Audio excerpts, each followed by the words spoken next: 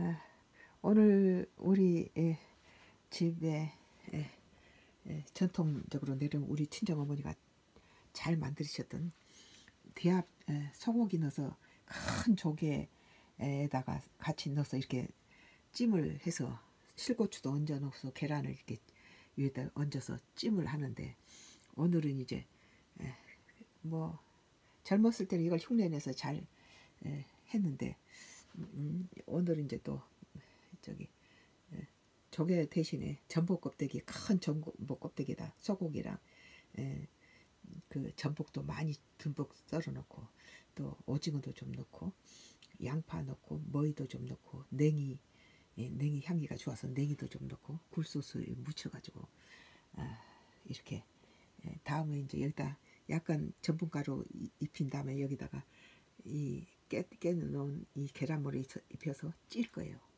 아, 조개찜이에요. 전복 어, 이번에는 전, 전복찜이 되겠네요.